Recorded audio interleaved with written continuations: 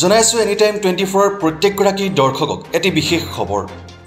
বকলীয়াঘাটত অসম সাহিত্য সভাৰ পূৰ্ণাংগ কাৰ্যনিৰ্বাহক প্ৰস্তুতি তুংগত। ন হাজাৰে সজাই তোলা হৈছে বকলীয়াঘাটক চিৰসেউজ কাৰ্বি পাহাৰত পুনৰবাৰ সাহিত্যৰ সুবাস বিলাবলৈ ব্যাপক প্ৰস্তুতি চলাইছে কাৰ্বি আংলং জিলা সাহিত্য সভাই।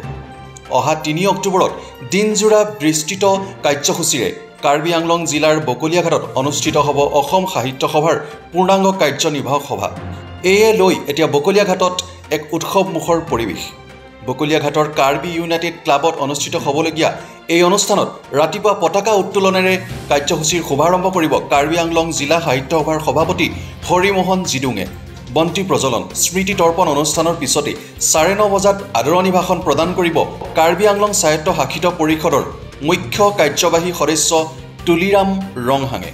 দিনৰ দহ বজাত অসম সাহিত্য সভাৰ সভাপতি কুলধৰ শইকীয়াৰ পৌৰহিত্যত অনুষ্ঠিত হ'ব কাৰ্যনিৰ্বাহক সভাত উদ্বোধক হিচাপে উপস্থিত থাকিব অসম সাহিত্য সভাৰ প্ৰাক্তন সভাপতি ৰংমিলিৰ হাঁহিৰ শ্ৰোতা পদ্মশ্ৰী ৰংবং টেৰাং অনুষ্ঠানত সমাজৰ সকলো স্তৰৰ লোকৰ সহায় সহযোগিতা কামনা কৰিছে কাৰ্বি আংলং জিলা সাহিত্য সভাৰ সম্পাদক বিশ্বজ্যোতি হাজৰিকা আৰু আদৰণি সমিতিৰ কাৰ্যকৰী সভাপতি ৰাম সিং টিমুঙে।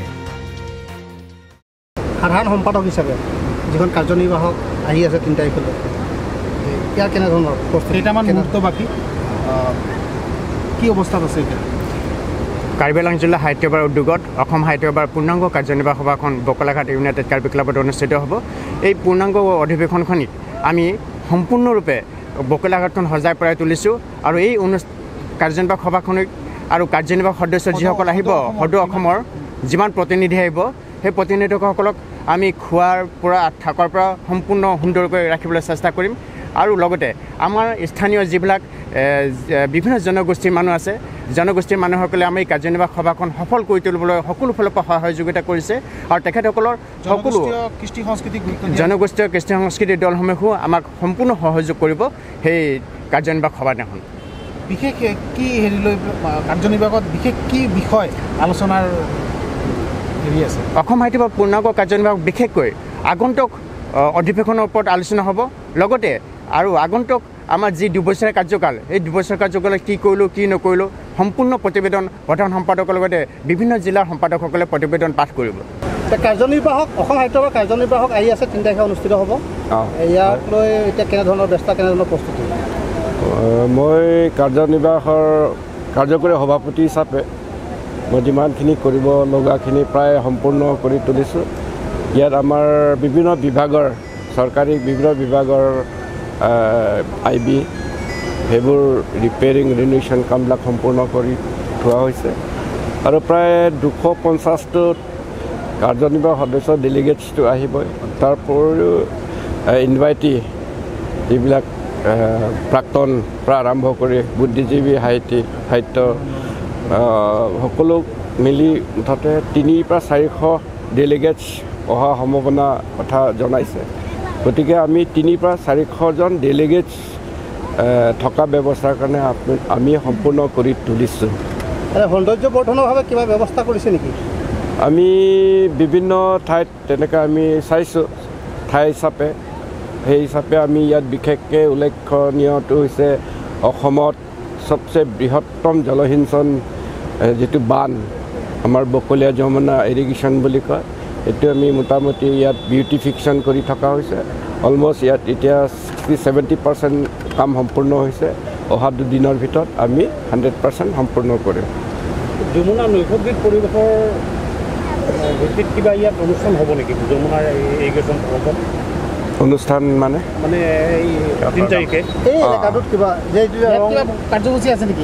ইয়াত কাৰ্যসূচী নাই। তথাপি এতিয়া আমাৰ সাহিত্য সভা কাৰ্য সমিতিসকলে তেনেকুৱা ধৰণৰ যদি সাধাৰণ ৰাইজৰ গাঁৱৰ মানুহৰবিলাকৰ লগত যদি কিবা আলাপ আলোচনাৰ খন্তেক সময় যদি তেনেকুৱা অনুষ্ঠান যদি আমাক নিৰ্দেশ দিয়ে তেতিয়াহ'লে নিশ্চয় আমি এই ঠাইখনতে মই আমি নিৰ্বাচন কৰিছোঁ। এই ঠাইখনতে ইণ্টাৰেকশ্যন ৰাইজৰ লগত ইণ্টাৰেকশ্যন ঠাই হিচাপে নিৰ্বাচিত কৰি এইখিনি আমি পৰিষ্কাৰ পৰিচ্ছন্নতা কৰি আছোঁ তাৰমানে অসম সাহিত্য সভাৰ যিখন কাৰ্যনিৰ্বাহক সভা হ'ব এই সভাক লৈ এতিয়া মানে বকলীয়াঘাটক নতুন ৰূপত সজাই তোলা হৈছে নেকি? অঁ, চেষ্টাটো কৰিছোঁ।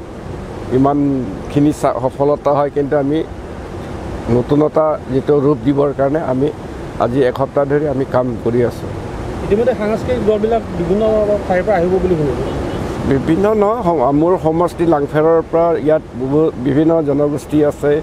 বড়ো সাংস্কৃতিক দল আহিব ডিমাচা তিৱা কাৰ্বি অসমীয়া বিহুৱান সকলো সাংস্কৃতিক দল সেইদিনা আদৰণিৰ সভা দিনাখন তেওঁলোকে আহ, আহিব অংশগ্ৰহণ কৰিব সাংস্কৃতিক শোভাযাত্ৰা আৰম্ভ কৰিব। যিখিনি প্ৰতিনিধি আহিব তেওঁলোকক কাৰ্বি জাতীয় পৰম্পৰাগত সাজপাৰ বা তেনেধৰণৰ আদৰা হ'ব নেকি? অঁ আদৰণি শুভ আৰম্ভ। আগতে আদৰণি এটা থাকিব। সেই নিজ নিজ ভাষা সাংস্কৃতিৰ সাজপাৰ লৈ তেওঁলোকে আদৰিব আৰু নৃত্য নিজৰ নিজৰ নৃত্য প্ৰদৰ্শনেৰে এই আমাৰ সকলো অতিথিসকলক তেনেকৈ আদৰি লৈ কাৰ্যালয়ত য'ত সভা হ'ব তাতে তালৈকে আদৰি লৈ যোৱা হ'ব। তাৰ কাৰণে ব্যৱস্থা কৰা সভা হৈছে। আংলং জিলাৰ পৰা। সমগ্ৰ উত্তৰ পূৰ্বাঞ্চলবাসীৰ বাবে কিবা বাৰ্তা প্ৰেৰণ কৰাৰ কাৰণে আপোনালোকে চিন্তা কৰিছে তাততো আমাৰ আদৰণি সভাটো আমাৰ কৰিব লগাটো একো নাই। আমি এতিয়া অতিথি আমি কেনেকৈ ইয়াত থকা ব্যৱস্থা আৰু সুকলমে সকলো ব্যৱস্থা কৰিব পাৰে বাকীখিনিতো আমাৰ কৰিব লগা নাই। হাওৰা ঘাটৰ পৰা Jan Bora report any time twenty four.